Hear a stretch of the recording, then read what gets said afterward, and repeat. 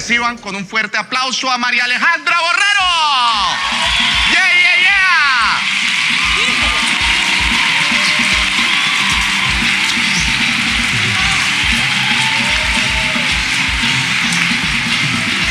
La cosa huele horrible, Oli. Marica, tabaco. ¿Qué dice? Bien, aquí. Aquí. Muerte el susto ¿De qué? de las brutalidades que usted me va a decir. Oh, nada, nada. Nada, Ya. nada, nada, nada. esto aquí queda uno acostado. Bueno, Ahí quedas aplastada. Oiga, bienvenida. un, un cojincito, Oli. ¿Qué quiere? ¿Un cojín? Sí. Traiga mi cara. Oh, tenemos un cojín con mi cara y ahí pues Yo ya lo vi, allá abajo está así. las en Britney ponen su jopete. Bien sabrosón. Buenas noches a todos. Wow. ¿Usted gente. cómo hace, Ole? Yo necesito llenar el teatro. Sí, es que es muy en el sur, la verdad.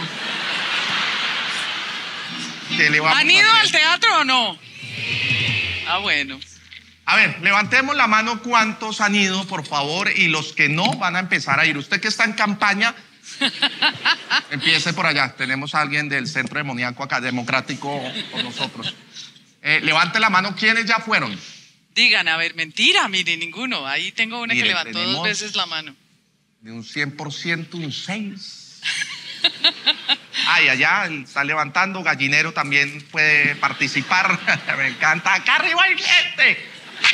Acá arriba hay humanos. ¿Cómo le va? Igual les doy la espalda. Eh, Qué horror, carajo. oiga, eh, esto empieza así suave, relajado, no sabemos para dónde vamos. Mm. Mire, Eso, présteme ese cojincito. Venga, yo me le siento encima. Ah, ahí se ha sentado encima Esperanza Gómez, ¿Quién más? eh, Carolina Cuervo. Bueno, eh, tira, me lo voy a poner aquí en la espalda. Eso, ahora sí. Me puso fue la espalda, ¿no? Ay, Oh, encima, tío. Siéntame.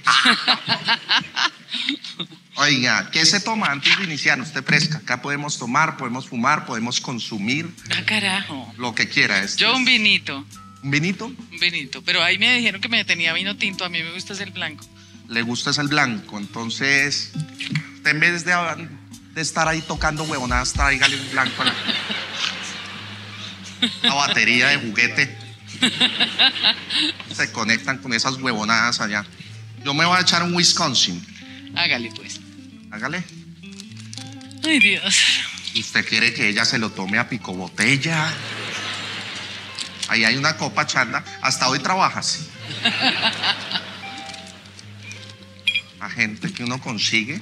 ¿Usted cómo hace con los empleados de su teatro? la-? Sufrir, mi amor. ¿Qué Ay. más hace uno? ¿Cierto? Sufrir. Manejar gente es una mierda.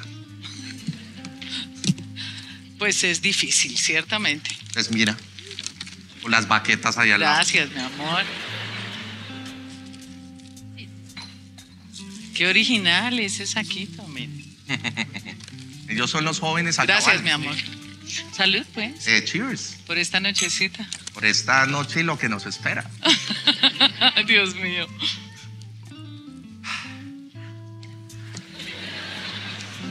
Me ensucia el programa, por Dios. Ya me lo iba a echar encima, ¿sí? Listo. ¿Empezamos o qué? Hágale. Cálmense también, o sea. ¿Toda agresiva? No, va- vamos a mi ritmo, no al suyo. O sea, usted Ay. manda su teatro, yo mando en el mío. Ay, Dios mío. Sí, ¿qué tal? Ya empezó con estas huevonadas.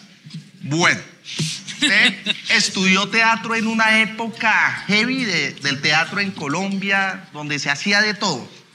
Muy completo. para Todavía se hace todo. Ahora se hace más, yo creo. ¿Sí? ¿Crees que ahora hay más libertades que, que antes? Pues yo me las tomé todas, pero sí, eh, yo creo que hay más libertades, ¿sabes? Ok, eh, uh, entonces peguémosle si quieres. No, mi amor, ya. A estas alturas de mi vida, ni uno. A estas alturas. ¿A qué alturas entonces fueron muchos?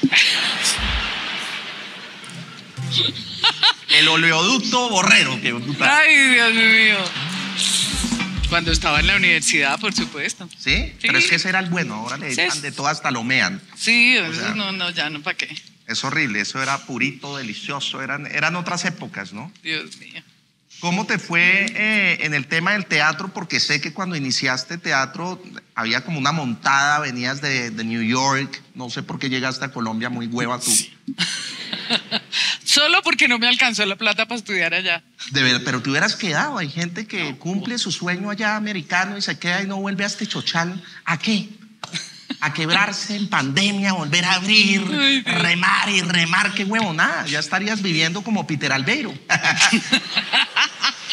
en un yate lleno de viejas echando perico. Tú no sé, alguna vaina más chévere, ¿no? No, yo creo que volver a este país fue algo importante para mí. Eh, mis hermanos todos se fueron de Colombia y mis sobrinas ahora son ciudadanas de otros países.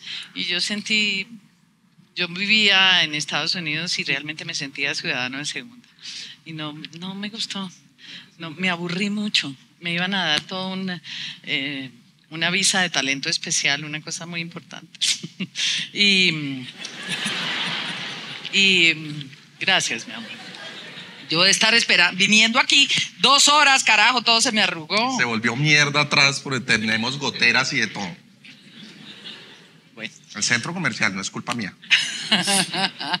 si no, esto de venir hasta acá, carajo, qué lejos. Y desde, desde el teatro. Desde Teusaquillo, donde vivo, que es uno de los barrios más bellos de esta ciudad, No donde conozco. todavía quedan las. bueno, ahí debieron vivir tus abuelos, ¿o no? Ellos, si mucho, han venido a Colombia dos, tres veces. Mugroso. Mandamos la plata, la sacamos y chao, explotamos. Acá Ay, qué explotamos. pero, no, pero no he ido por allá, va a tocar ir al teatro. ¿Cómo fue todo ese tema del teatro, la pandemia? Cerraste, abriste, cerraste, abriste. Dios mío. Ahora es Casa Borrero. Casa de Borrero es. Mm. Sí, ahora respondo yo. Em, Usted también le toca responder para que dice. Pero, marica, pues la de acá, mira, se robaron 70 mil millones de pesos. ¿Qué pasó? Cierto, Mierda. cierto Si me toca responder por algo. y los dejo acá engrampados a ustedes, a todos, weón.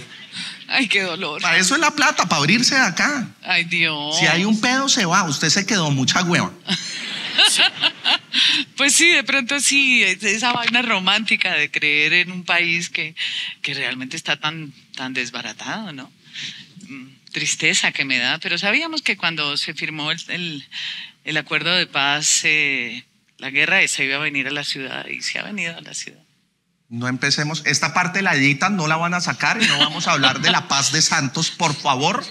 Traicionero de mierda, ¿sí o no? Sí. No, no vamos a hablar de esas coracorradas acá, por favor. Ay, eso, Dios eso lo editan, ¿vale? Porque el país está así por la izquierda. Izquierda. Terroristas, Petro basta ya, Ya. Qué barbaridad. ¿no?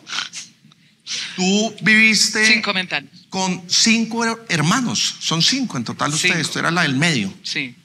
Sí, en Cuatro estos días que estaba con mi hermana eh, en Panamá, por ahí dijeron a alguien que, se- que venía de Panamá. Sí, son los que me cuidan la plata ya. Acaban de entrar los de Panamá. Eh, nos bañamos juntas y me acordaba de cuando nos bañábamos juntas. bañaban? Mi hermana y yo, hombre. Te Eh, quedó para toda la vida la bañada. Yo sabía. Pero ya Eh, que fue madre, si le tenía regalo.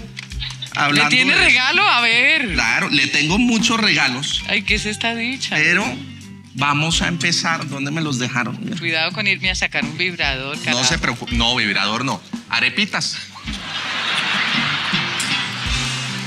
Reputas. Claudia Nayibe lo que pasa es que se le queman. En Cali había unas, una marca de arepas que se llamaba Doña Aleja. Yo dije, ve. Ese producto es el mío. Salud. Salud, mi Uy, qué delicia, qué delicia. Yo siempre he soñado con él. Llámeme un día esos parches y yo ahí me meto. Y hacemos las delicias de mamá allá adentro. Sin comentarios. Creo que me voy a tomar varias. para después. No, Ah, atrevido. no, yo le doy trago y mi madre y nos bañamos con su familia, con los que quieran.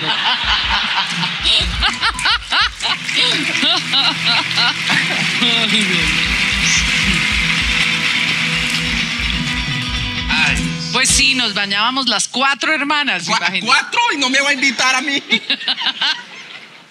ok, No, ok. Se Ya, no le tocó.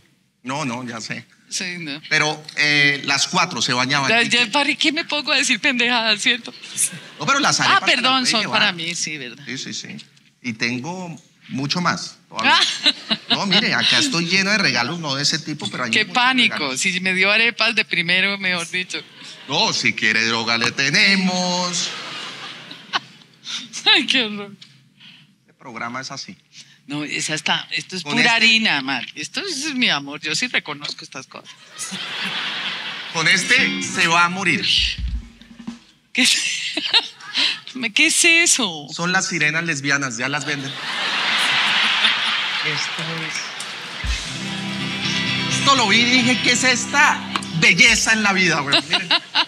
Y las puede bañar. Y mueven la colita. Me jodí. Me jodí. Lesbian, ¿verdad? Dicen. Este mundo se lo llevó el putas. La niña desde chiquita, quiero la lesbiana, quiero la lesbiana. No, o sea, ya se nos fue. Dios mío. ¿Y esta cosita qué será? Mira. Para que jueguen. No. La verdad no sé. No soy lesbiano.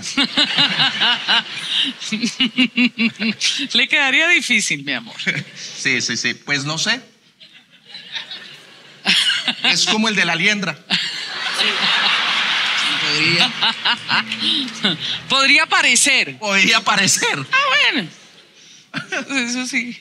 Ay, oiga. Así oiga. sí lo invito, así sí. ¿Sí? Sí, así sí.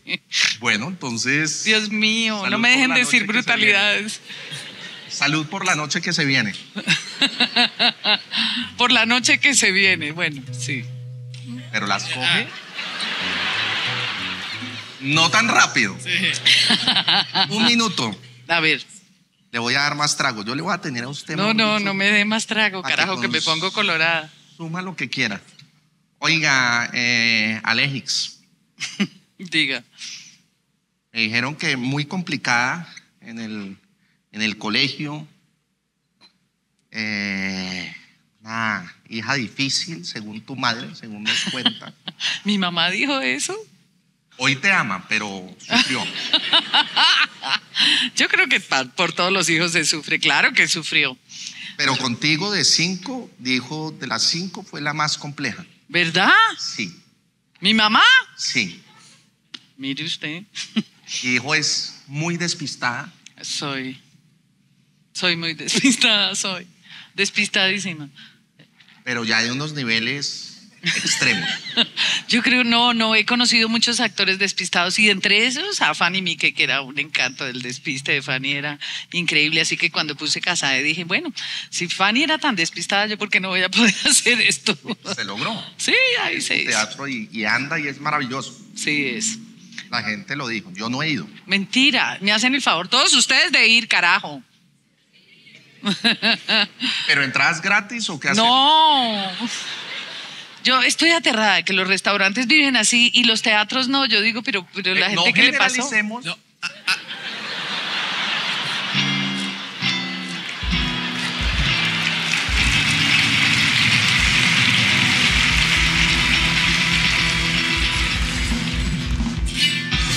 Sé que hace poquito botaste tus gafas. Ay, Compraste unas gafas nuevas. pero ¿cómo sabes que boté las gafas cada vez que.? Tres días. Pero estas son como de tres pesos. Pues por eso, pues, para andar uno en el centro, ¿qué quieres? Eres un atrevido. Esas no necesito. ¿Cómo le parece que no tengo de esta vaina? Hay que una se llama donde se va a presbicia. necesitar. Ay, eres un miserable. En estos días que me caí del caballo me, me hicieron exámenes y me dice la doctora, no, no, no se quebró la- ni el cuello, ni eso, no puedo ver con eso. Eh, ni ninguna parte, pero tiene como una artrosis en el cuello, pero eso es la edad. Y yo, tan querida, tan, tan especial. ¿Cómo se llama la doctora?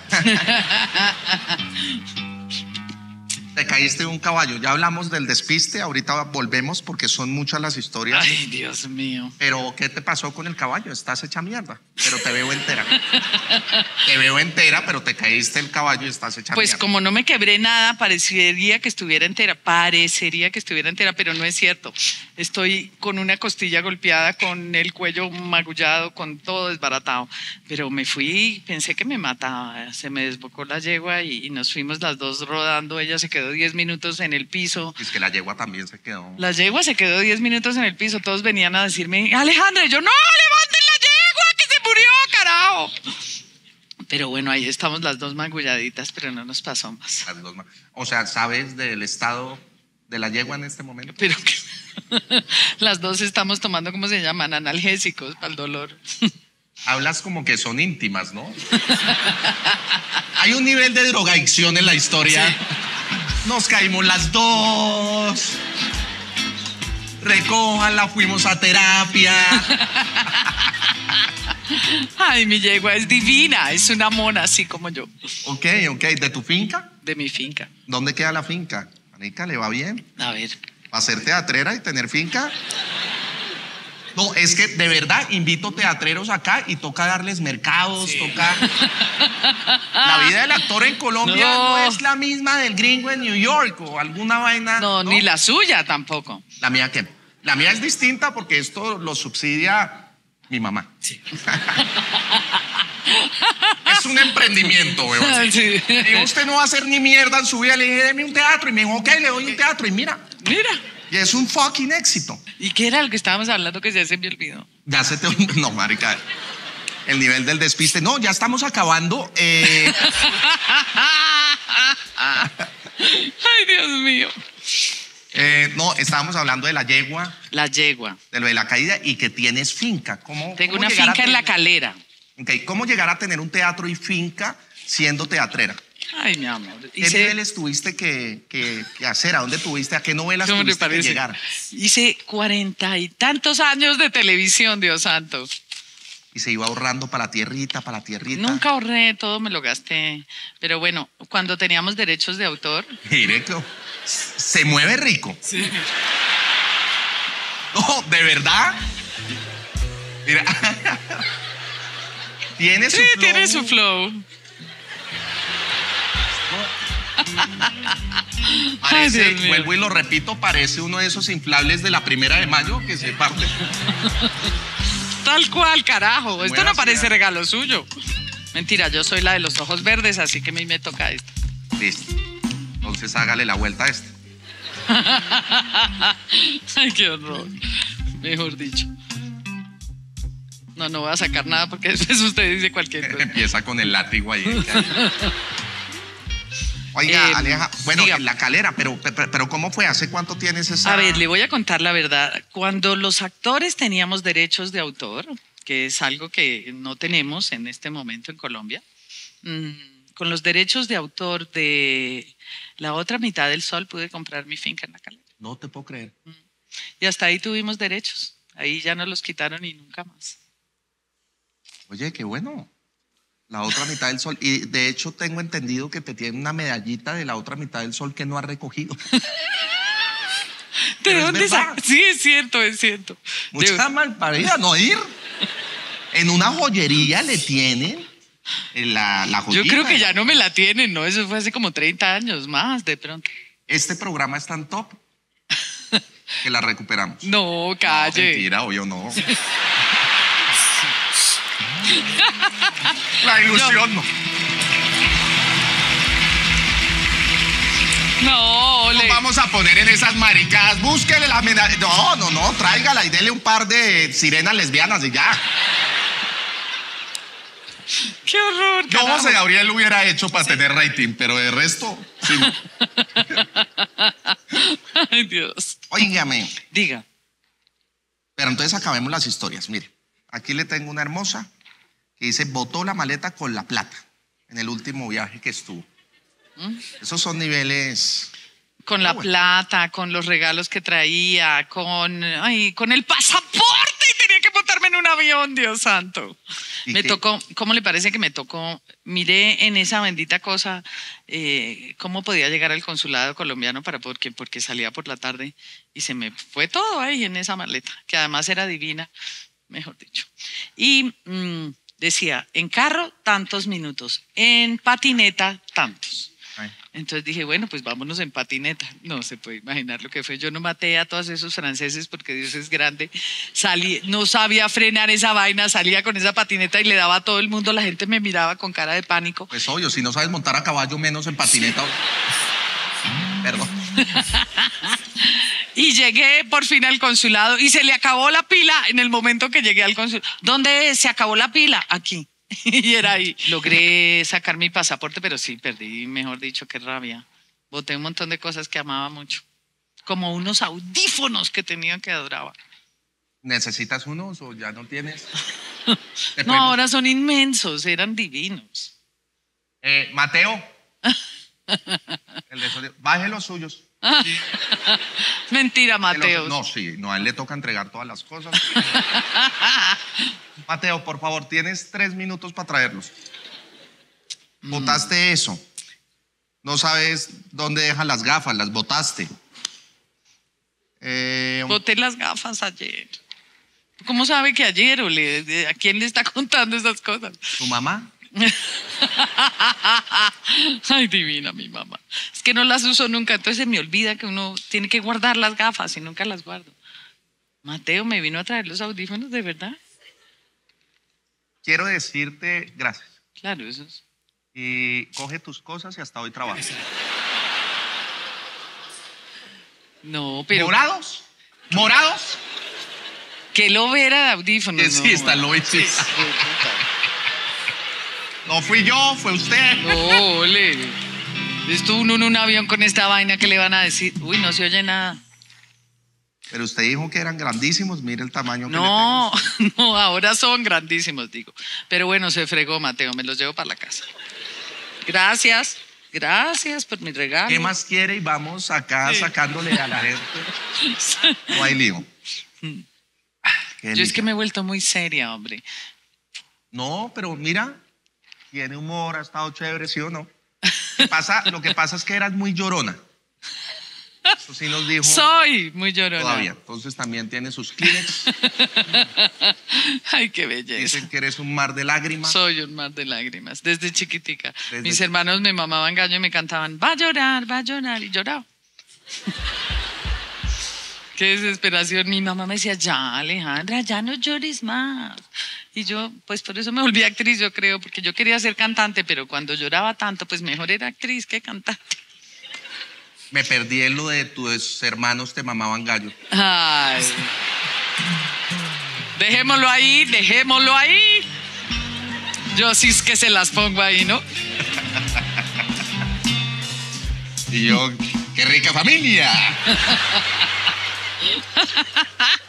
Carajo.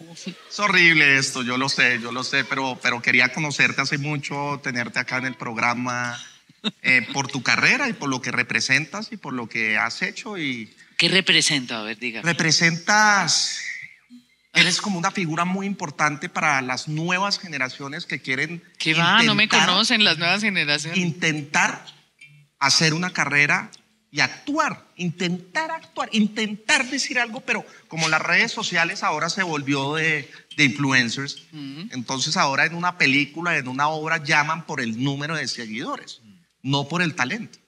Cierto. Y pasa muchísimo. Y tú creaste una escuela precisamente para ayudar a todos esos jóvenes. Una escuela donde iba mucho modelo y ¡pum! Toma tu coñazo. Aquí no vienes a modelar imbécil. Vas a actuar y vas a tener Tal peso en cual, esas tal cual. Toca, toca, cuando uno entra a la escuela, uno cree que es que le van a dar un libreto y va a empezar a actuar y va a imitar a alguno de esos actores que le gustan la vida. Y, y es todo lo contrario. Uno entra a la escuela y, y aprende de uno mismo. Para ser un buen actor hay que, hay que conocerse, hay que ser capaz de verse lo, lo bueno y lo no tan bueno. O sea, tú ya te conoces. ¿Y usted? Yo no. Yo no me conozco ni sé quién soy y no estudié para esas huevonadas. No, como te digo, yo soy influencer. Eh, y pues mi familia tiene demasiado Villegas, no sabía qué hacer con mi vida y, y como que empecé a mostrar mi vida en las redes sociales, la gente le encantó. Eh, una vida hermosa. Eh, um, Bueno, no ¿usted sabía que yo iba a ser su mamá en esa película que hizo? ¿En la serie? Sí, sí sabía porque yo estaba al frente de los castings Ah, mira. y de hecho fue un gran casting, pero a María Fernanda... Atrevido, mentiroso, que no fui ni hice el casting.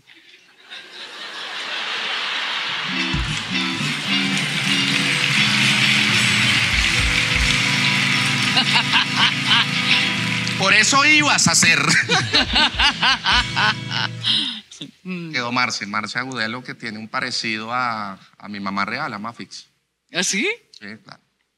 Mira tú qué bueno. Mm. ¿Por qué no quisiste hacer el casting? ¿Le digo la verdad? Por favor. Y trátame con cariño como lo he hecho yo. Porque me ofrecieron muy poquito. ¡Silence! Chandas. Marica, muy agalluda porque. Ojo, ojo, se dio garra cobrando, weón.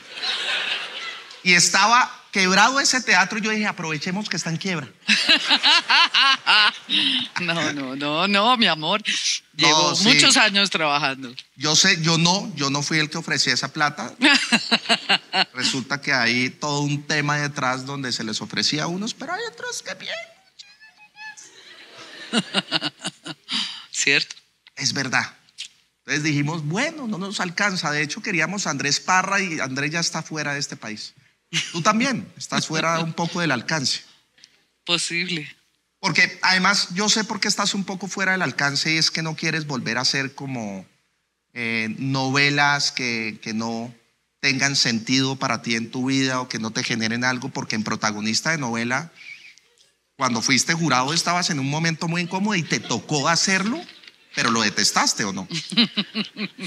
Ay, no, realmente me encuentro muchachos que han, yo me presenté y yo como la quiero, pero usted me dijo que no y yo, ay, qué dolor.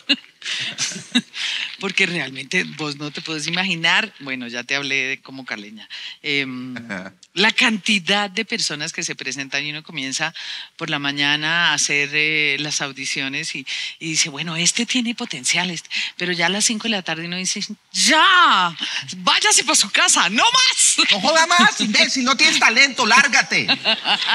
No, realmente, realmente, mejor dicho, mejor no digo. Dilo que yo lo edito. Eh, generalmente, mm, si yo hubiera tenido que hacer audiciones en mi carrera, yo creo que no hubiera hecho la carrera que hice. Ok, siempre Yo- fue como... Para mí el casting siempre fue una cosa muy difícil porque uno se lo quiere ganar. Así que yo siempre que estoy con mis actores les digo, no has ganado nada y no has perdido nada, así que vete tranquilo, vete tranquilo, porque de todas maneras un casting es un casting y, y- y de pronto se lo gana uno, pues como de pronto no. Y desde que dejé de darle importancia a los castings me los gano. Ok, eso, es, eso es lindo. Y cuando te los ganabas, eh, estabas Me completamente... los ganaba, perdón, Eh, los castings. en pasado. Eh, pues es que ahora estás dedicado a otra cosa un poco, ¿no? Y ya escoges.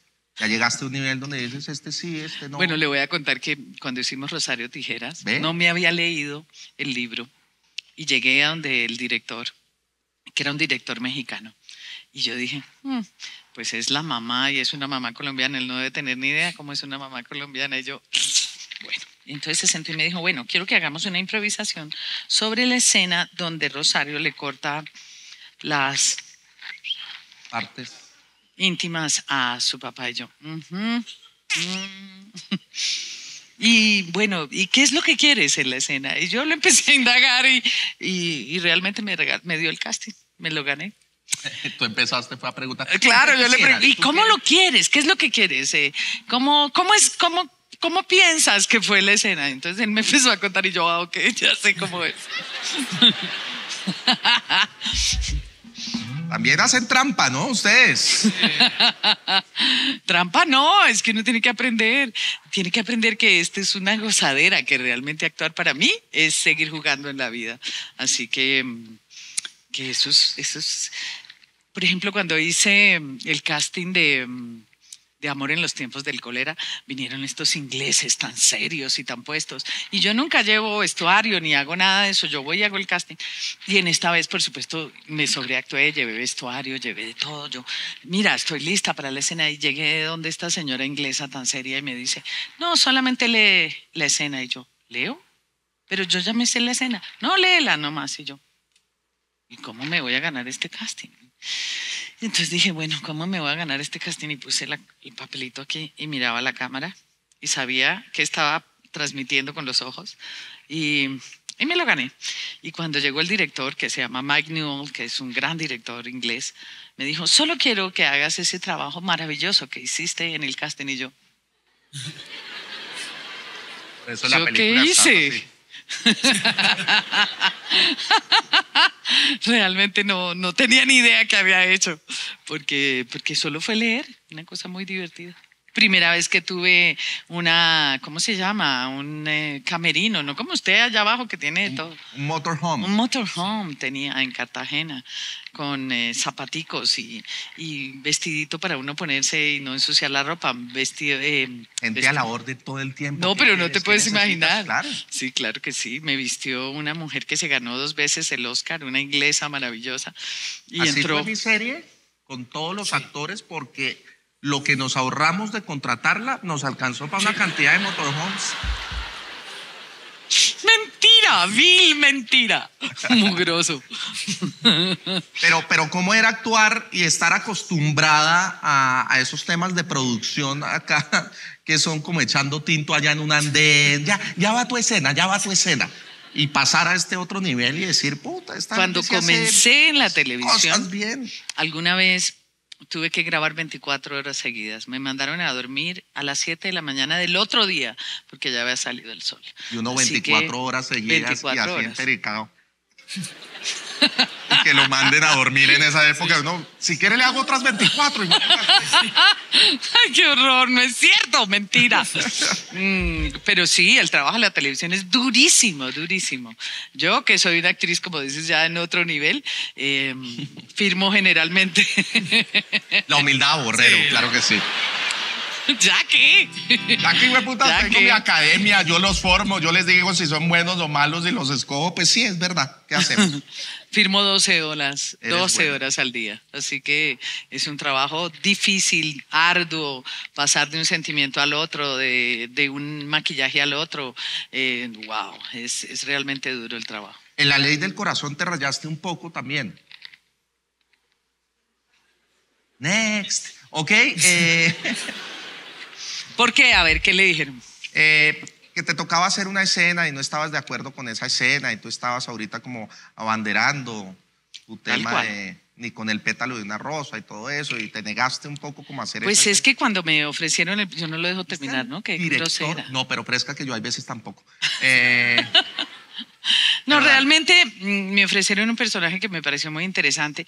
Eh, hablando con el hermano de Mónica Gudelo, hablamos de, de que generalmente las mujeres no tienen papeles eh, donde ellas toman las decisiones. Las mujeres en las historias, en las telenovelas, generalmente... las historias y en la vida por general. Mira, mira, Tú sabes cómo pienso y cómo soy, entonces.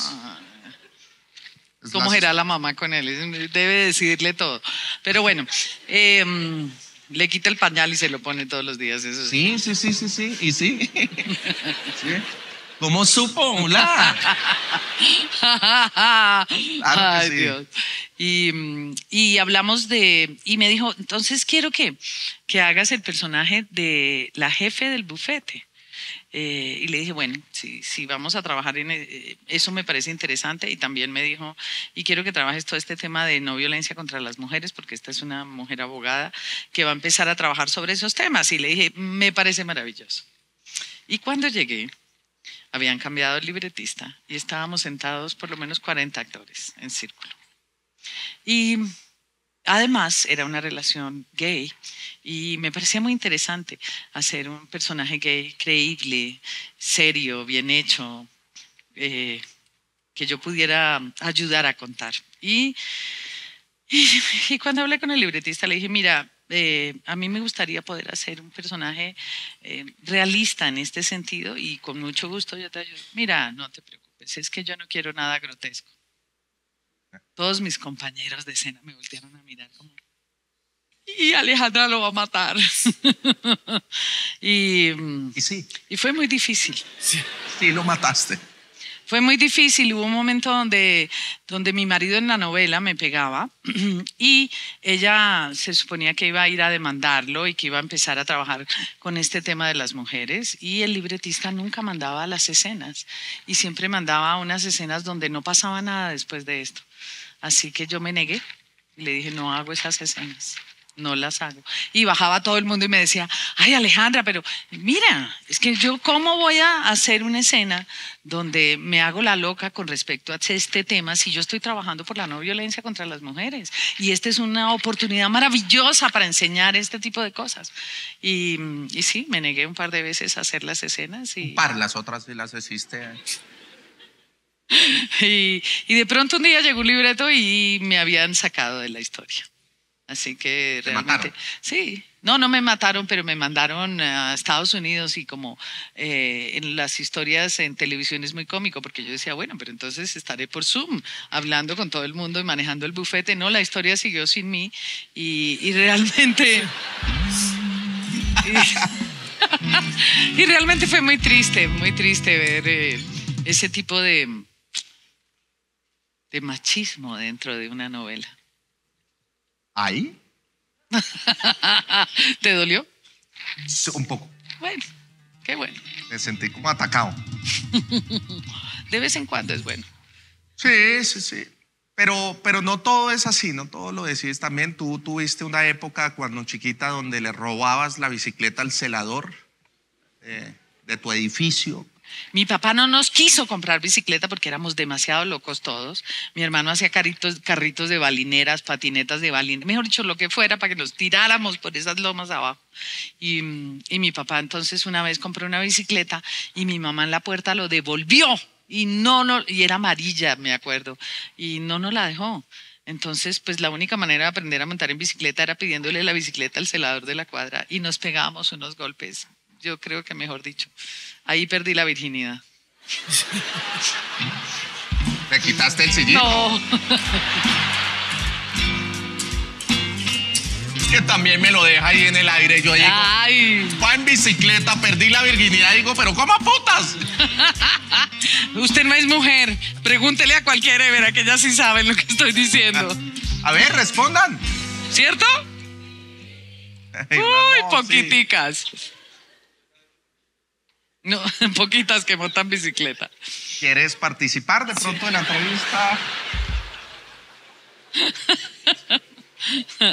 bueno, pero no todo fue como, como has vivido hoy por hoy, digamos. Em, tuviste tu primer novio que fue tu primo. Yo le escarbé hasta su primer tetero. O sea, se llama, se llama, y no lo he vuelto a ver, creo que desde esa época, Jorge Sá. Y nos dimos un beso de un minuto jugando pico de botella y, ahí nos volvimos novios. ¿Y después tuviste otros novios? Varios, sí. ¿Y en qué momento dijiste? Ah"? Porque conociste una francesa. Ay, Dios mío. No, es que mis investigadores son la verga. Dios mío. Son los mismos de Vicky Dávila, fíjate tú. De Darcy Quinn, son los mismos. Pagamos un paquete todos. Que nos salga más barato. Ay, qué horror. Em, cuando.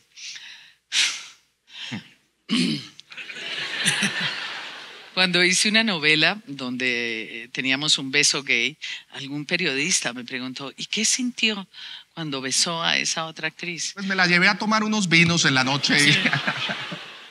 Y, yo le pregunté, yo le pregunto a usted cuándo se echa sus pedos. O sea, son cosas íntimas de la vida. ¿no? no tengo por qué hablar de esas cosas y aprendí que uno no tiene que decir todo lo que no quiere decir. Y que las cosas de la intimidad son las cosas de la intimidad. Así me las preguntes. Pero me respondiste, y te tengo, te tengo un kit. Ay, Dios.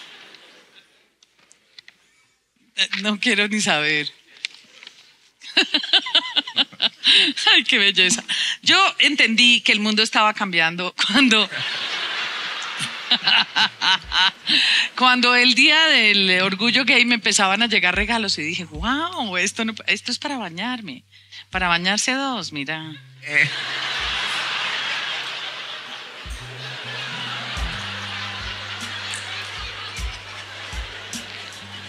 Más un candado, ¿no? Ay, mi amor, usted no tiene ni idea. No, la verdad no. La verdad no, pero hoy voy a aprender. Y esta, como, ¿qué quiere decir? A ver, El esta. azulito y toda la vaina, así, toda Ah. machorra. Nunca he sido machorra, nunca he podido, Ole. Y esta vaina no me queda bien porque además no se me ven los ojos. Me quedó divino. ¿Y este es por qué? A ver, diga. Yo ya Eh, sé. Por los calores ya de la... Yo sabía. Tengo todos los que existen. Yo no he podido entender por qué no han hecho calzones con ventilador. No he podido entender. O sea.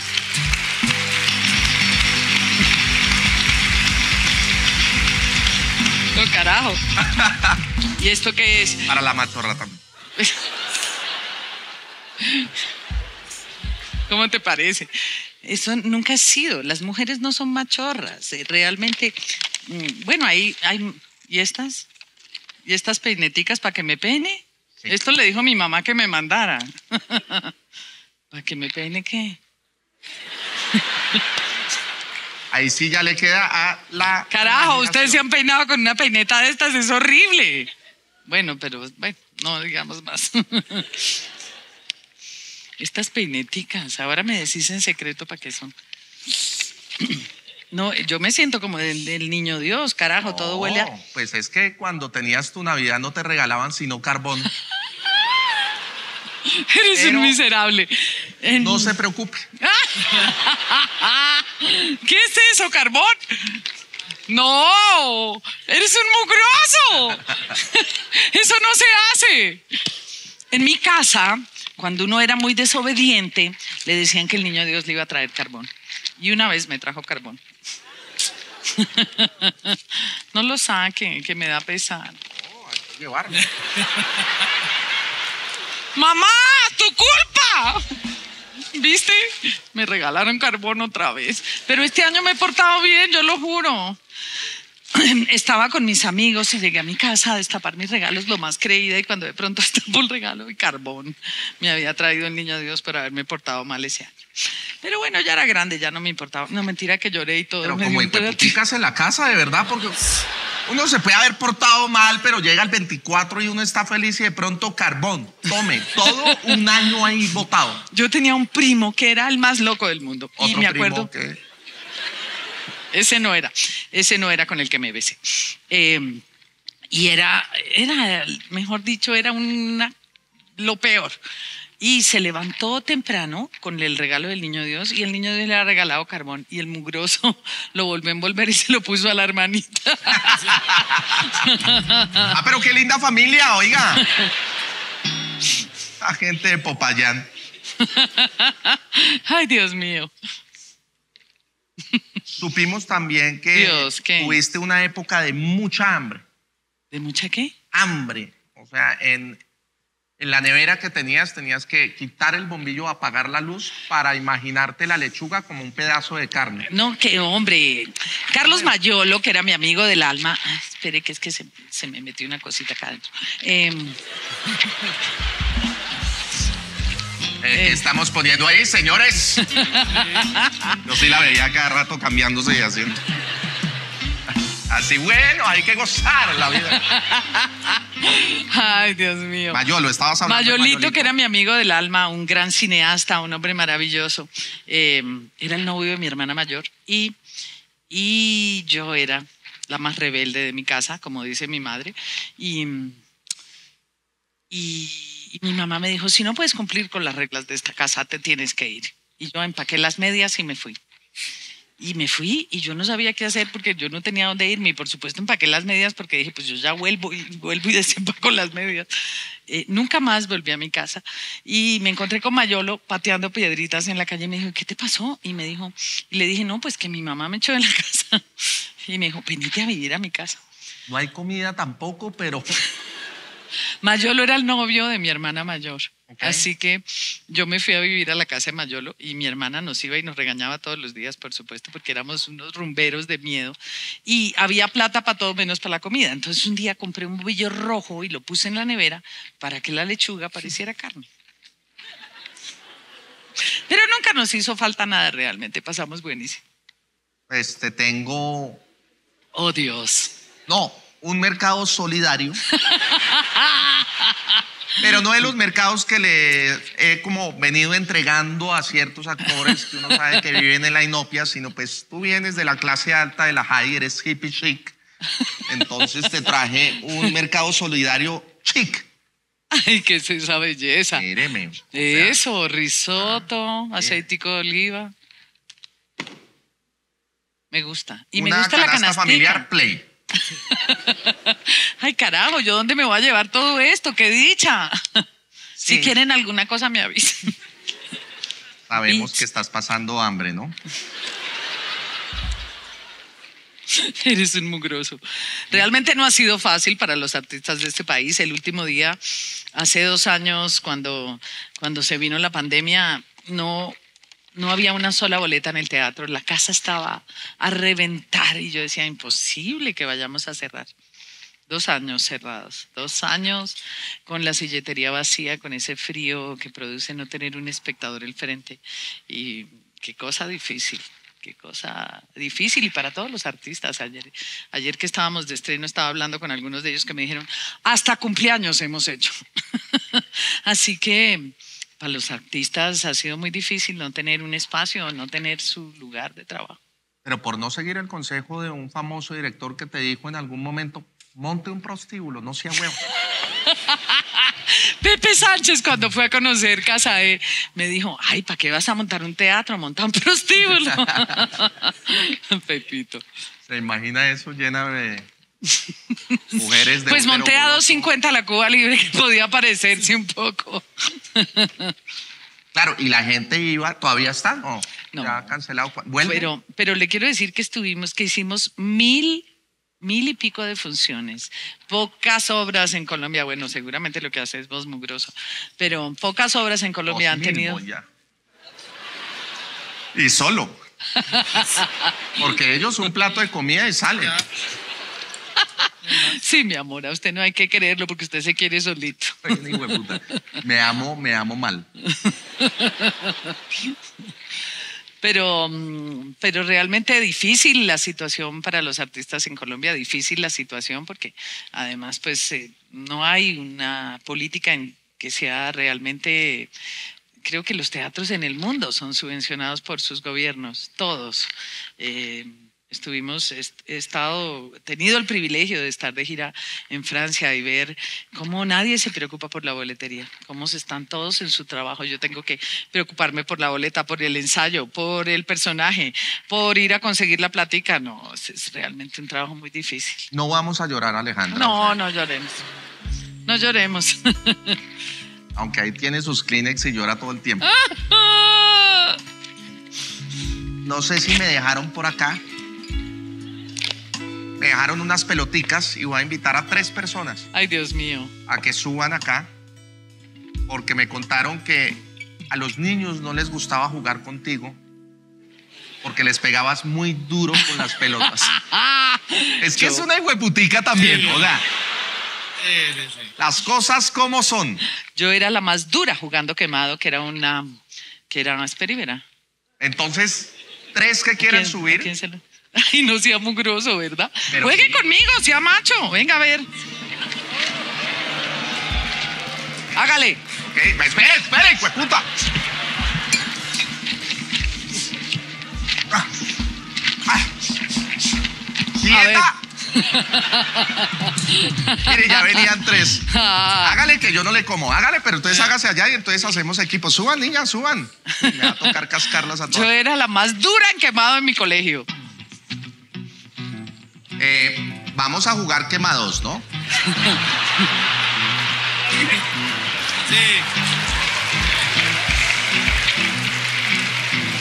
A ver, Si la cogieron, si la cogieron. a ver, a ver. No, pero yo voy contra usted, eche para allá. Usted ya estuvo quemado, hágale, hágale, hágale.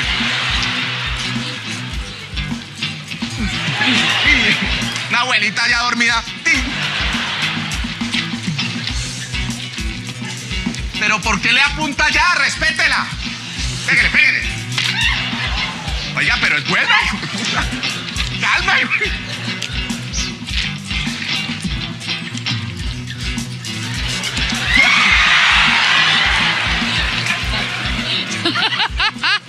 A mí, a mí. ¿Que se cayó? ¿Se desmayó?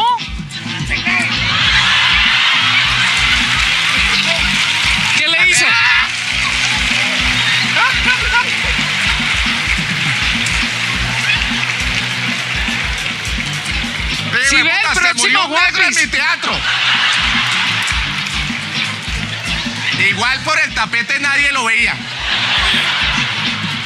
Ah, te jodí. Ah. A ver, pues. Oiga, pero la hizo muy bien. Vuelva a caer, qué pena. No, es ¿Qué que tú hizo? no viste, el man se quedó ahí. Hizo la forma y todo, hizo. Dale, dale, Nigrets, dale. Muéstralo. Marica, se ganó una beca en casa. Se gana su beca. Se gana su beca.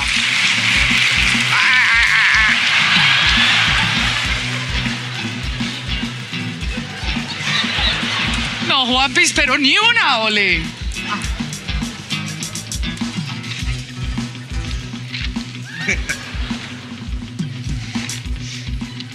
Ay, los negros son pa' mierda, hola. Pero ¿por qué al del Centro Democrático? Eso, se le regala la pelota. Más le vale, ole. Venga, quédese. A ver si le El siguiente un- Juanpis, ¿sí vio? No, metámosle humor negro a esta vuelta. porque- Yes.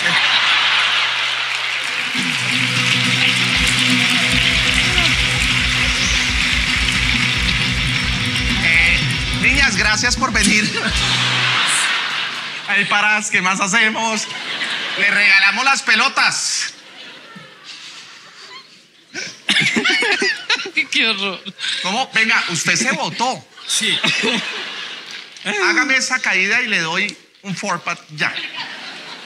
Bueno, usted sabe que hacen casting en todas esas películas de asesinatos del que mejor se muere. Y por eso es que uno ve esos muertos tan chéveres en las películas. Y, en Colombia, en cambio, los muertos se mueren. Acá se mueren eso. Sí, sí. Parece un hámster ahí desmayado. ¿Quiere hablar? ¿Le gusta el tema de la actuación o qué?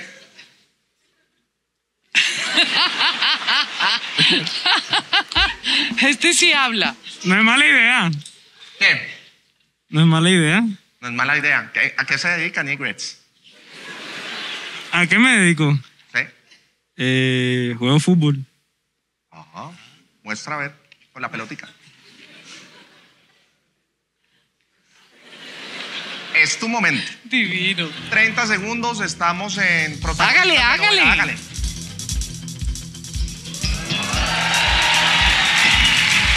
Esa pelotica. Se lo papió para que vea. Se ganó este huevito. Gracias. Ay, démosle comida porque no lo han llamado. Arranque, mi hermano. Eh, mi Mm, no, hermano, yo- puedes comer en otro lado, de verdad que me. Me volteo y ni nos mira hasta allá.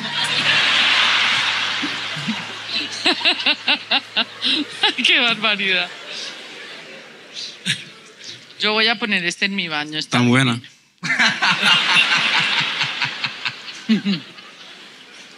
Ah, arranque, arranque para donde la familia. Es una cosa horrorosa. Muchas gracias de todas maneras. Está bien. Otro vinito, claro que sí, sí. No, sírvale un vino chino. Mentira, mi amor. Oiga, la vi bien con esos quemados, pero encarnizada. Encarnizada, yo era la más. No, se le olvidó. Todavía sigue siendo la más. Se le olvidó. Casi mata a esas chinas ahí. El vino, el vino. Pero usted se averiguó mi vida de cuando yo era chiquita. Llevo como 50 años viviendo. Más. Mentira. No, pues dígame una edad y le digo, a No. los 26, no, tampoco. o sea, Ay. Tampoco, pues.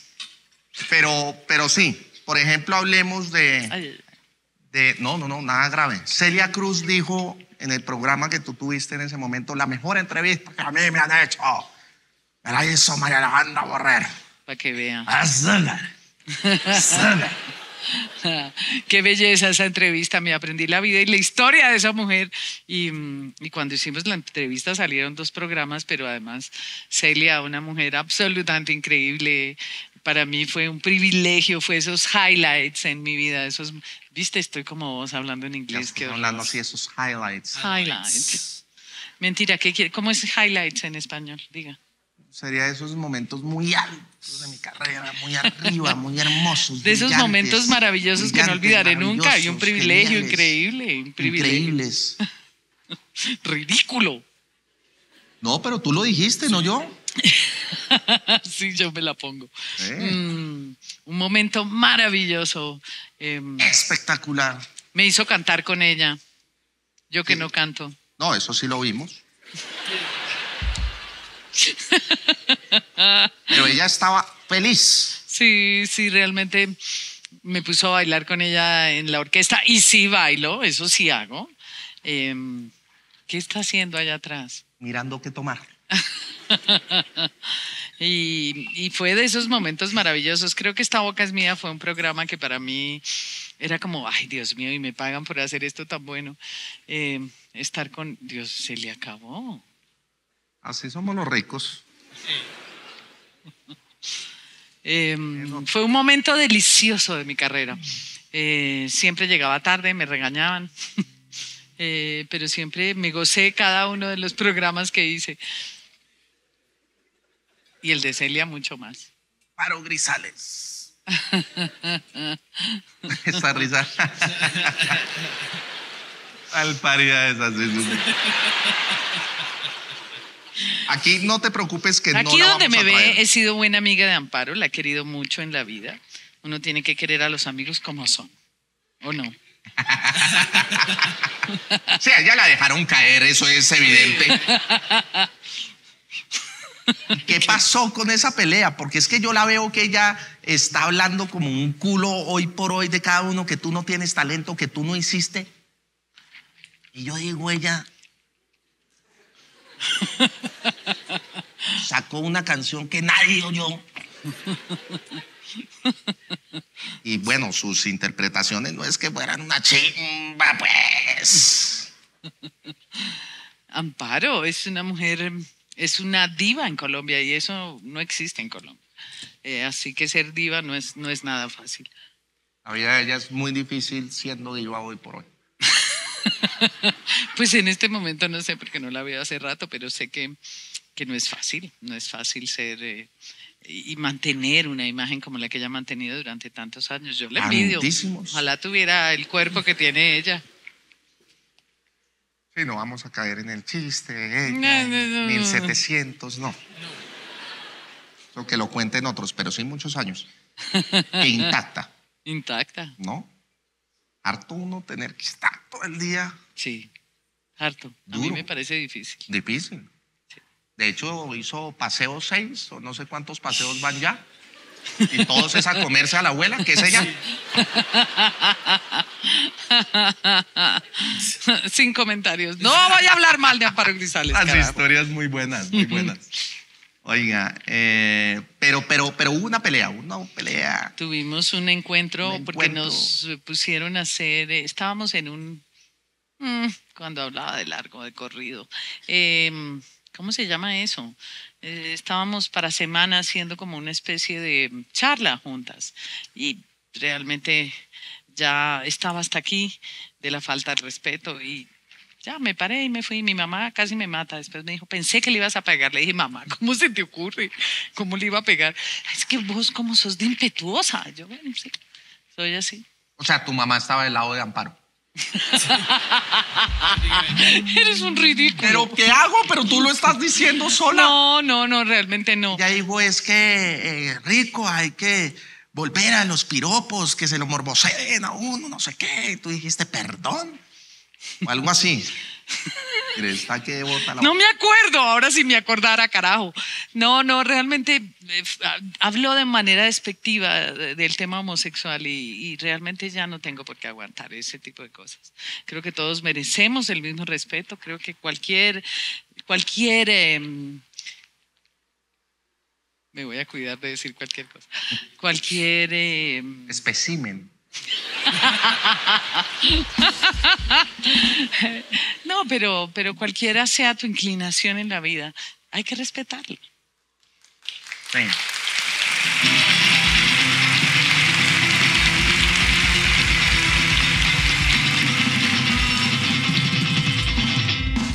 Me ese comentario ahora, pues. Ay, no, se está volviendo muy cacorro este mundo, güey. Dios Como mío. nos criaron en la casa bien, hombre con mujer y una familia como debe ser. Punto. Las cosas como son. Y lo otro no es de Dios. Ay, Dios mío. No Siga pensando esas bobadas en la vida. No las Realmente son. La importancia de... Mire esos colores tan cacorros. No. La gente feliz, libre. No, qué cacorrada. O sea, ten los huevos y, y haz lo que tienes que hacer en la ¿Qué tierra. le hago? Eh, eh, realmente ahora hay tantos temas, eh, tantas maneras de ver a la gente en este momento. Nos han puesto todo tipo de nombres, pero por supuesto cuando yo salí del closet, que fue hace muchísimos años, ¿Del closet o del armario? ¿Qué tan Yo creo que del armario. Eh, me di cuenta que tenía los mismos prejuicios que tiene todo el mundo alrededor de este tema y para mí fue realmente muy difícil, muy difícil. Eh, llegar a un restaurante y que todo el mundo me sonriera porque, ay, ella es la actriz y de pronto llegar a un restaurante y que todo el mundo volteara la cara. Ay, fue realmente difícil, realmente difícil, pero le abrió un camino muy grande a la gente que empezó a salir del closet y, y que en este momento vive de una manera mucho más tranquila su vida. Nada más horrible que tener que vivir una doble vida. Oigan, Dígame. Vicky Hernández. Las primeras escenas con ella fueron bien complicadas por el respeto que le tenías, por lo fuerte que era ahí en escena y fue algo que me comentaron mis investigadores. Fue para ti como difícil en cierto momento, la, la admiras muchísimo. Vicky para mí la mejor actriz de este país, una mujer. eh, Trabajar con Vicky es de las cosas maravillosas que le puede pasar a uno en la vida. Una mujer muy brava, muy, muy brava. Muy brava. Una vez estábamos haciendo azúcar y estaba comenzando mi trabajo y el personaje tenía una fusta, mi personaje. Y Vicky se quedó mirando y yo dije, Dios mío, me va a matar, me va a matar.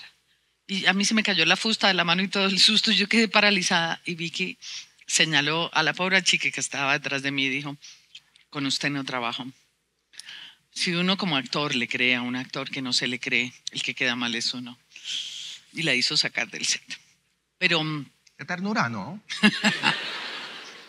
pero creo que tenía razón. Si tú le crees, perdón que estoy comiendo. Mi mamá no me va a regañar por chuparme los dedos. Mm, si uno le cree a un actor al que no se le cree, el que queda como un zapato es uno. Y ella tiene toda la razón. Sin embargo, pues la manera sí fue bastante agresiva. Pero ¿cómo le parece que el año pasado estuve haciendo una serie preciosa que se llama María Villa, que todavía no ha salido? Ay, y me vi como la señora tetona de la tienda. Uno que se viste diferente, pero cuando me pusieron el vestido de la señora tetona de la tienda, fui la señora tetona de la tienda. Dios mío, todo parejo, una vaina horrorosa, no cabe, me muero. Pero bueno, mm, eso le pasa a uno cuando es actor. Y cuando es tetón. Pues sí, o sea, eres Claro de la sí. generación de María Fernanda Cabal. Mi amor, Como que toda esa generación fue tetona, ¿no?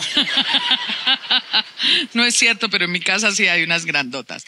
Mm, no le voy a decir qué talla porque usted ni se entera de lo que es eso. No, uno vaya y se ahoga, uno no necesita, no, no necesita tallas. Pero no tallan. No, sí talla hay veces. Oiga, mm, Y estuve trabajando con ella. Y realmente fue un privilegio y un placer.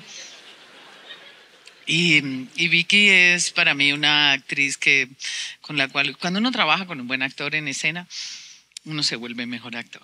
Así que eh, la conozco desde que comencé mi carrera. Mi primera, lo primero que hice en la vida que fue eh, Debajo de las Estrellas, una, un cortometraje. Ella era actriz de San... Ella ¿Hace era- cuántos años? no, pues todos los años del mundo era chiquitica. Fue mi primer trabajo. Y no hablé en toda la, en todo el cortometraje, pero me gané el premio de mejor actriz del Festival de, de Cine de Bogotá. Y ahí ¿Cómo, hijo de comencé. Has corrido con suerte, entonces. Por, la Por eso niñita tengo- de atrás que está así callada, ¿quién es? Por eso, por eso puse una escuela, porque yo tuve todos los problemas como actriz. Y si yo lo logré, y si yo pude hacer lo que he hecho, todos pueden, todos podemos. Así que no les dé miedo. Cumplan los sueños que tienen. Háganlo. Ha pasado de todo acá. Estado. Te tenemos un regalo para que la recuerdes también. para que cuando Mi estés. Vicky, Sí. tan bella. Oh. Mira qué brava se ve. Y bueno, y otro también acá, Amparito. Dios la ampare con ella. ¿Y esto dónde lo voy a poner, carajo? Oh, pues cuando usted esté de mal genio, la ve a ella y se relaja. ¿Cómo le parecen todos los regalos que me han dado? Y aquí te tenemos un pedazo de carne. ¿Por qué? ¿Por qué? No es nada de ¿No esas es carnes. Angus? Eh, esa no. Es para que hagas, eh, era para que hicieras empanadas de carne sobre un tema, pero las empanadas se las comieron. Cierto futbolista vino y se tragó toda la comida de acá. Le tocó. Mujeres asesinas. ¿Cómo le parece que los que vendían empanadas me decían, ay, ¿cómo le parece que hemos dejado de vender empanadas por culpa suya, hombre? ¿Cómo se fue a picar a ese señor? y hacer empanadas. Pero además, ¿cómo le parece que el día que tenía que salir a vender las empanadas, estos miserables no llevaron a nadie? Y yo tuve que salir de verdad por la calle vendiendo empanadas y la gente me decía cara de por, con ese personaje desbaratado y todo el mundo, uy, qué asco. Y yo, ay, qué cosa impresionante. tocó una vaca. Una vaca, media vaca tuve que partir. Casi me parto el alma haciendo esa vaina. Es Duraste difícil. tres días con sangre entre las uñas. No, y con un acá. dolor aquí de partir eso con esa hacha, pero no se pueden imaginar porque eso rebota. Entonces, eh, mejor dicho, bien difícil partir una vaca. ¿Cómo será un ser humano? Qué dolor. Un comentario hermoso, ¿no? ¡Ay, Dios mío! Animal. ¿Qué más sacó? Esto es por lo de las tetas, que sé que siempre te riegas algo. Es un baberito. ¿Quién le dijo eso? A mí me dijeron que siempre, Que siempre me es un desastre y se chorrea las Siempre tetas. me chorreo por aquí. sí. No tengo nada chorreado, raro. Va bien regalada. Uf. Y esto, no, pero esto, esto sí, ¿para qué? Sabemos que no comes carne, pero, Ay, Dios mío. pero llévela, que hijo de madre. A ver, me la meto aquí. Ay, Dios. ¿Qué más? ¿Qué más va? Mejor dicho, ¿qué más va a sacar? ¿Qué es esto? Yo me siento como el día del niño Dios. Bueno, pero yo pensé que me iba a preguntar cosas complicadas. ¿Cómo qué? No, no, tanta papaya tampoco. Me perdí ahí. Pero sí quisiera hablar ya para entrar en la parte seria, así. Es del tema televisivo, tu carrera que lo hablamos muy por encimita por unos momentos, pero lo que está pasando hoy por hoy, digamos, con el tema de la televisión, con el ¿Qué tema de los derechos de, de los mismos actores, como cómo se están produciendo hoy en día las, las series, las novelas de una manera tan rápida, un equipo acá, el otro acá. ¿Mm? Ya no es como antes, digamos que duraban como un año en realización de esta novela, sino ya son como dos meses o tres para ahorrarse todo el Villegas. Cierto. Un poco explotador la cosa, pero Pues para contarles, cuando comenzamos, cuando yo comencé este trabajo, que no fue el principio de la televisión, por favor.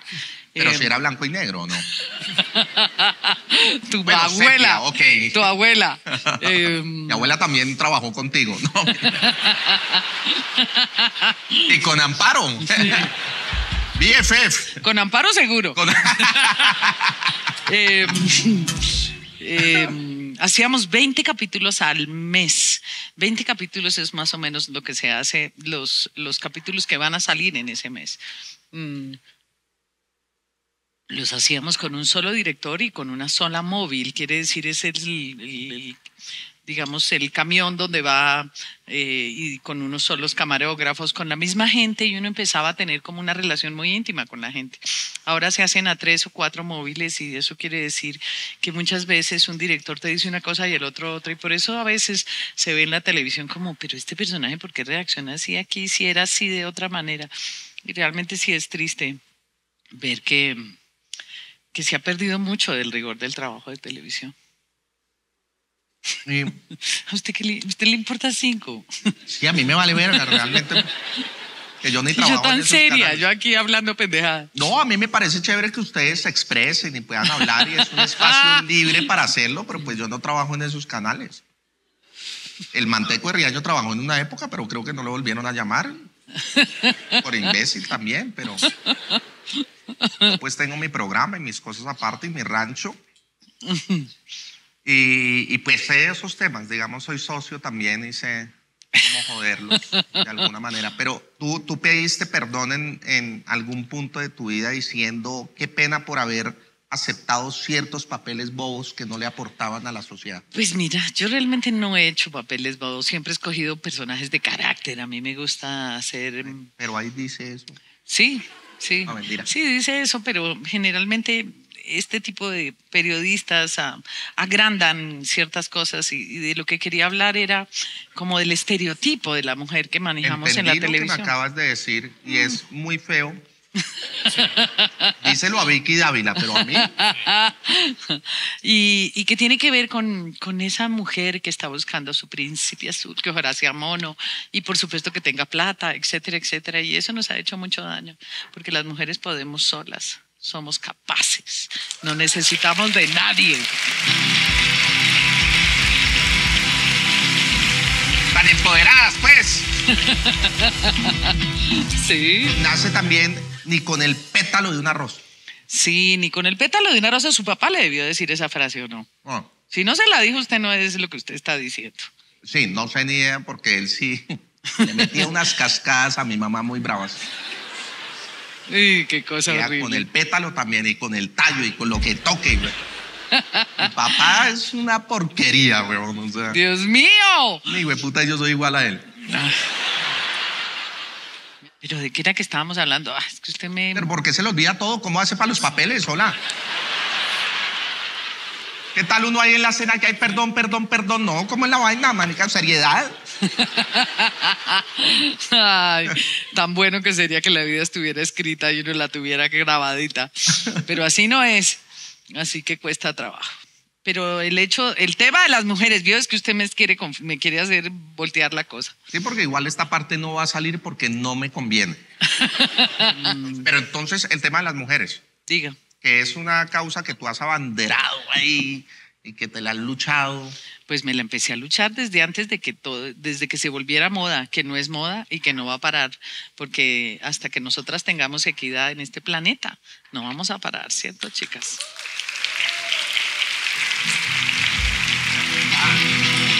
Pero le quiero decir que salí y me fui, yo no sé por qué, porque ya existía el computador, la tablet y todo, con una bolsita, con unos letreritos que contaban todo lo que estaba pasando, porque yo vi las estadísticas de la violencia contra las mujeres y me impresionó tanto que dijimos, no, hagamos una campaña, hagamos algo que tenga que ver con esto. Y bueno, nos sentamos a pensar y nos fuimos a todos los periódicos del momento, a Cambio, a Semana, a lo que, mejor dicho, a los de In Fashion, a, a todas las revistas. Y y llegábamos a contarles lo que estaba pasando y que queríamos que hablaran del tema de la violencia de género. Y muchos de ellos nos dijeron, pero ¿cuál violencia? Pero no, si eso no es así, y a veces le pegan a las mujeres, así que es mucho lo que ha cambiado el mundo. Llevamos, eh, yo llevo con esta campaña hace más de 15 años y, y ha cambiado el mundo. Gracias a Dios ha cambiado el mundo. Los feminicidios que hay. Pues digamos que no es que haya cambiado el todo, pero, pero ya por lo menos se nombran las cosas. Antes, por ejemplo, en el periódico salía una foto de una mujer golpeada eh, y se re- revictimizaba a la mujer, se decía, se decía el nombre, se, se le ponía en una situación donde generalmente se veía avergonzada, se veía eh, de alguna manera eh, señalada por la gente. Así que ha cambiado, ha cambiado, no tanto, pero sigue cambiando y creo que el mundo va a cambiar cuando las mujeres entendamos que somos iguales a los hombres.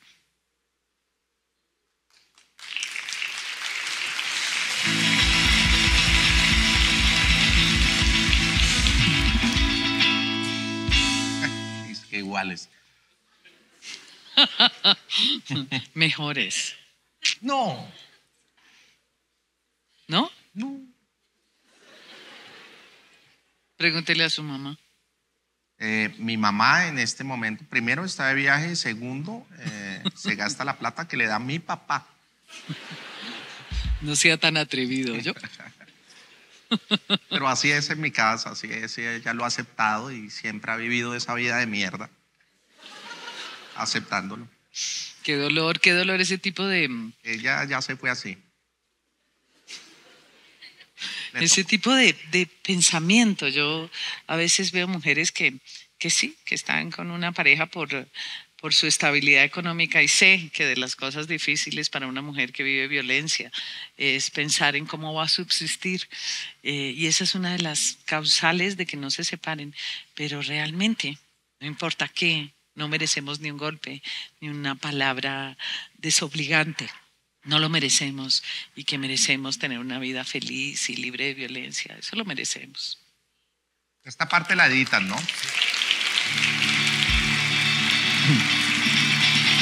Me he vuelto serísima. Yo antes era loca y desbaratada. No, pero este era el momento del, del cierre chévere para Profundo. ti. Eh, Para ti. Yo abandero otro tipo de causas. La causa siempre es ese macho y puta que ah, llega a la casa y pa, pa, y, y tin, y pa, sexo y trae, ya, y tin, pobrecito. tin. Somos unos machos muy bravos, bravos. Somos la Gaber, weón. Somos los que llevamos el poder y, y siempre va a ser así. Somos la fuerza de este chochal. ¿Usted sabía que las mujeres, por ejemplo, lucharon en la batalla de Boyacá, vestidas de hombres, mano a mano con los hombres? Y ninguna de ellas es conocida. Ninguna de esas mujeres, y en el colegio nunca nos enseñaron el valor y lo que han cambiado el mundo las mujeres, así que es muy importante empezar a nombrarnos. Por eso María Villa, por eso cosas que empiezo a hacer ahora, de empezar a reconocer las mujeres de nuestro país. Creo que conocimos a, a Madame Curie porque se ganó ah, dos Nobeles de, de química, pero eh, a Manuela Sáenz, a María Fernanda Cabal también. Dios mío. Hemos de decir que hay mujeres de mujeres, ciertamente. Pues Ale Hicks, Diga. nada, simplemente muchas gracias por acompañarnos en esta interview, por estar esta noche con nosotros, por Gracias, mi amor. Gracias porque el vino era de verdad, porque en la televisión siempre es mentira, es es spray con agua, carajo. No, todo lo que se toma acá, si quieres consumir eh, drogas, Oli, marica, o sea, cuando quieras, si quieres, acá es bajar la cabeza y sale uno como, como un pizzero. O sea, no, pero venga, de verdad, Diga. muchas gracias por, por venir, por la genialidad que has sido como, como actriz y como ser humano. Esta parte sí, porfa, cortemos las cámaras porque después dicen, no, se enamoró.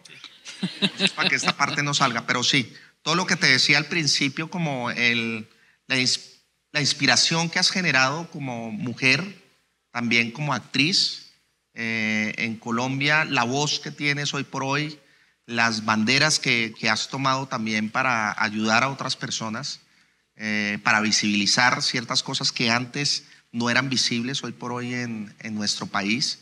Mi amor, ¿cuánto Eh, se tomó? Es que acabamos de cortar las cámaras. Porque esto no lo voy a reconocer frente a otros, pero ahí vamos cambiando, son cosas de la vida. Sí. Quería decir eso y agradecerte de verdad de todo corazón el haber venido y, bueno, haber peleado conmigo de alguna manera y, y defendido tu causa. Eres una cosa linda, gracias. Tú eres una cosota hermosa. que voy a enjabonar más tarde, hijo puta. Fuerte el aplauso a Alejandra Borrero que estuvo con nosotros. Chicos, ya vengo. O nos vamos una noche larga. Gracias, mi corazón. Ya nos vemos, no se muevan, no se muevan. Gracias, gracias a todos. Vayan a casa de Borrero, carajo. Allá los espero. Gracias. Gracias, chicos.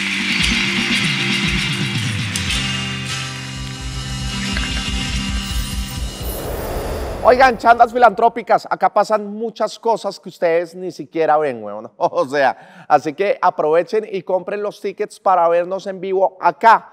Si quieren ver nuestras interviews, weón, sencillo, acá en The Juan Piece Live Show. Quieren ver nuestros sketches, weón, aquí, dale click. Los esperamos y entren ya al teatro.co de Juan Piz González. Un abrazo. See you later, alligator.